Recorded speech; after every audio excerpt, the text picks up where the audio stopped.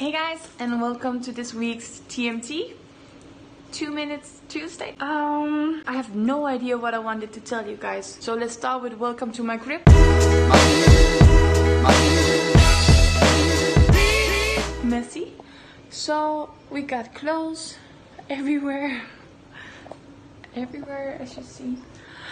And um yeah, so this week this week have been pretty wow pretty crazy in many forms, in many ways, and um, I think the the main thing, the main thing is we have all these belief systems, and and we follow one path, like okay, this is the truth, this is the right thing for me, and we follow it, follow it, follow it, and sometimes it seems as if we kind of lose ourselves along the journey because we forget to listen to what our body's actually telling us, where we actually are in this present moment, and instead of that, we just continuously follow that path.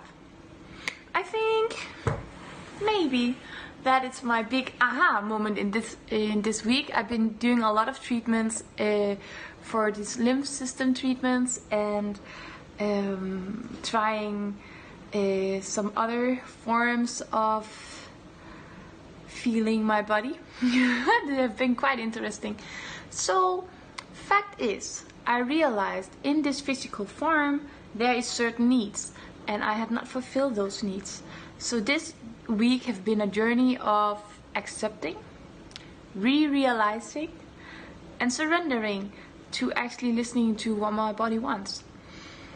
So we're gonna upgrade this protein level, and we're gonna do more swimming more laughing, more dancing, and basically that is the plan for next week. So guys, TMT very shortly this week all about listening to yourself, listening to your body, listening to your heart, listening to what you actually need, not in your beliefs, but inside of yourself. If you are 100% honest, what do your heart truly desire? What do your body need? And what are your soul screaming for? So, TMT for this uh, week, and I'll see you next week. Doei doei!